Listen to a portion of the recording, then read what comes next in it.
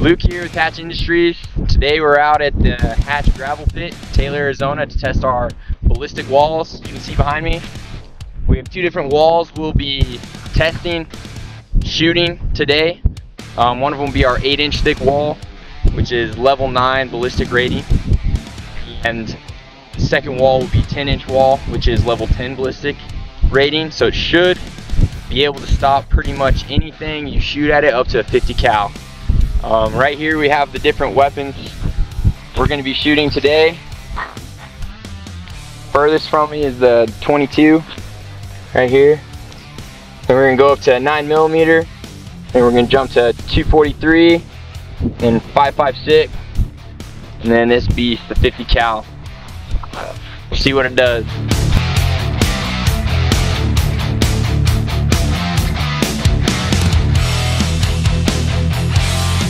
Alright, next we'll be shooting the 9mm.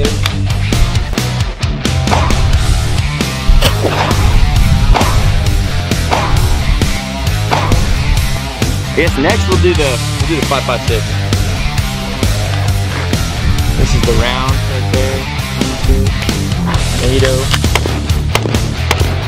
Alright, the next next uh, weapon we're gonna shoot is the 243.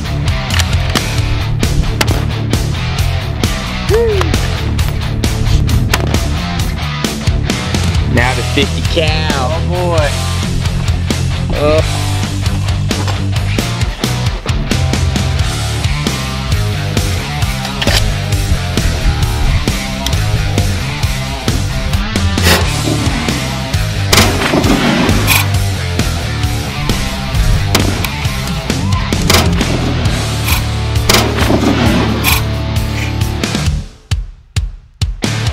you can see right here, this is where we shot the 22.